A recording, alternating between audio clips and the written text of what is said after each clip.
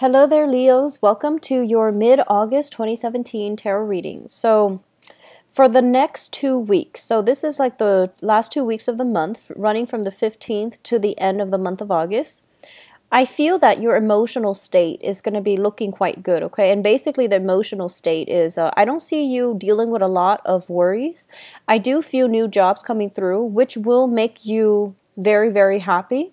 If you have been dealing with financial fluctuations, I feel like I, feel like you have either a performance review where someone, you know, looks over your past progress and your past um your your past performance and they're either deciding you know to give you an income boost like a, a, a little bit of a pay increase or they're giving you just very positive verbal you know affirmation that you're on the right track. So i feel like that's really going to boost your self-esteem. That i feel is coming through either this month from now until the october time frame and i feel like it's going to be very good okay? Very positive. positive. And then for those of you looking for uh, full-time work or looking for a job i do feel the same energy where they're mentioning they're mentioning like, you know, new employers calling your previous employer. So from now into that october timeframe and you're getting positive reception like you're getting a glowing review. So i feel that it looks very good. And if you are in the uh, creative industry you know such as uh, in the performing arts or such as um, doing something where you're giving it, um, you're you're bringing something out into the world. I feel like you're gonna you're if you're worried right now, you're gonna get very positive review from now into that October uh, time frame because I, I hear like glowing positive review. So I, I reviews. So that's um, you know performance review appraisal, getting you know accolades and getting positive reception overall from your audience or even from like critics or even from uh, employers who are appraising you. Okay. Um, financially, though, I feel like for some of you, things can definitely be worked at and can be improved and can get better. So, first of all, um, in the monthly reading, I mentioned a lot of career paths that some of you can take, okay? And I feel like some of you, uh, you might have like a home based or a family based type of business that was passed down to you and i feel like on the one hand you know you you are a very very loyal like uh, sign and family ties family creations family values do mean a lot to you and some of you for example you might have inherited you know like um family business um, parents might have left something behind and you or your siblings are trying to build it and, and you know bring it back to its heyday and I feel as if um, it's it's kind of like a double edged sword. Like it's it's a business model that needs to be innovated. So it needs to be changed. It needs to be revamped. And I feel that hanging on to the status quo is not going to be efficient anymore. It's not going to be productive, and you might lose out on a lot of money. So they're saying that while the business model itself, I feel like it's dwindling, like a client base is dwindling, so you're not making enough uh, as much money as as you used to as back in the days when your parents or your family ran the business. So I feel like possibly finding ways where you can reinvent the business, innovate, and at least appeal to a different demographics. You know, mainly because times are changing, people grow up, and um, I feel like you're dealing with a diff- different demographic. So rather than dealing with, you know, so, for example, if it's a restaurant and you're catering more to like the older population, I feel like it might be time for you to innovate and cater more to the young crowds that might be uh, entering the area or catering more to you know for example if it's a high class restaurant and you're you're finding that that client base dwindling you might want to open it out for more happy hour for more you know like uh, blue collar laborers for example. So i feel like some major major reinvention of a family business is necessary. Hiring advertisers hiring people that can really uh, help you innovate your business, I feel it's going to be crucial. And I feel that if there is a financial drain, you might need to take a different direction when it comes to the future of this business. Okay. And I do see. Um, it's like if you are involved in it with siblings or like extended uh, extended family members or relatives, it's difficult because you know there are too many cooks in the the kitchen, like too many people with different ideas some people they still have sentimental values and they want to take a business you know they keep want to keep the status quo. And i feel that you're not in a position where you can override their decisions. So i feel like there are internal family squabbles coming in as it relates to money as it relates to business. Others of you who are not dealing with this business aspect i feel like there are family members coming in telling you you should do this you should do that giving you inputs that I feel is leaving you very like confused like what do I do? How do I please everyone? How do I navigate this energy? How do I you know it's like they're they're giving you too many inputs and you don't really want to upset anybody by taking or not taking a specific course of action. So i do see a lot of pressure on you uh, financially but i don't feel like it's you know symptomatic of of an ongoing, you know, chronic issue, and I don't feel like it's um it's very serious though. Okay, I don't feel that it's very serious.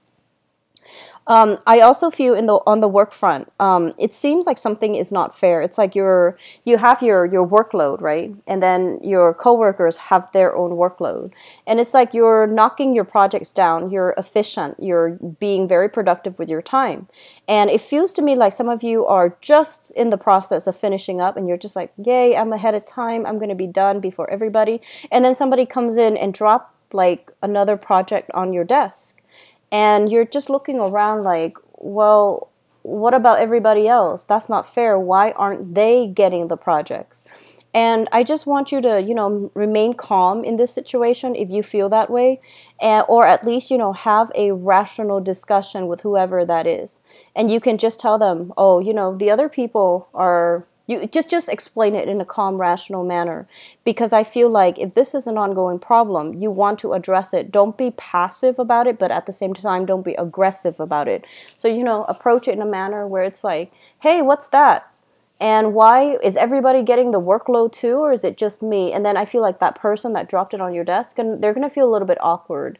And I feel like it's gonna prevent them from doing it in the future to you. Okay, so uh, addressing it in a very like um, I, I want to say assertive but not aggressive way. It's gonna be in your best favor. Okay.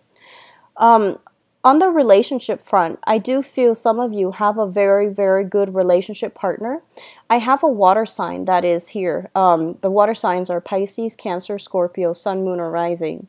And this is somebody that is very devoted, very faithful, very truthful. And I feel like some of you are heavily, um, it's almost like you're living for this person. You have somebody on your field rooting for you, batting for you, and I feel like you have a lot of emotional support.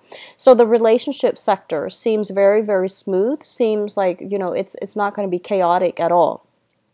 Some of you have children, um, they're starting to work, so they might be, you know, teenagers they might be like verging on young adulthood. And i feel like if you are dealing with, with financial issues children are coming into the picture to be a financial assistance to you. And i feel like this is going to be a major major surprise for you because it, it feels like you know they see that you're struggling even though they might be they, they might not verbalize it but i feel like they're bringing in physical tangible um, kind of like a helping hand. And i feel like that's going to make you you feel really good and feel very proud of the work that you have of the way that you have raised the kids and taught them okay? So i feel like things coming back to their maker is what i'm hearing. So that means financial assistance or people that especially you know if you are the maker meaning that they are your own children i feel like they're going to come in and they're going to give you a lot of physical and financial support.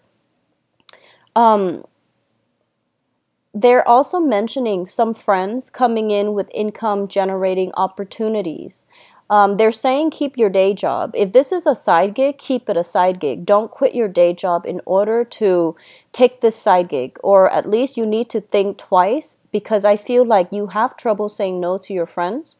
So if they're coming in with an idea, make sure everything is planned out well, okay? And they're they're just saying keep your day job and if for those of you who are not, you know, currently like full time employed and you have new opportunity coming in from friends, it's going to be very short term.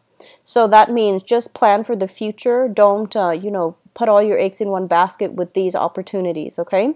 The last thing that I want to end this with is um, I feel like for some of you, the living arrangement, um, it feels a little bit restrictive it feels a little bit restrictive. So that means you might need to start saving up. And I feel um, I feel like the 2018 timeframe, there's going to be some massive major housing moves for you. More people coming into the house. Possibly, if you are expecting new children, I feel like there might be an addition to the household or more people coming in, and you're going to have to really think about saving up in order to, you know, for a down payment on a home, a down payment on a condo, or even, you know, change your current location because some of you might be uh, foreseeing this, okay?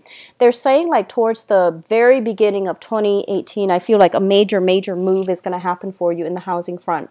So bear with the financial, um, the housing situation for now if you are financially strapped. If you are eyeing like a bigger venue, a bigger home, a bigger, you know, apartment or a bigger living arrangement, I feel like it's going to be very good for you to start saving up for the next four months in order to land something that is exactly a big fit for, like a, a fit a very good fit for you on the housing front, okay? Start saving up. This is not a month for you to splurge, and I feel like from now into the next four months, that is going to take us into December and the January timeframe.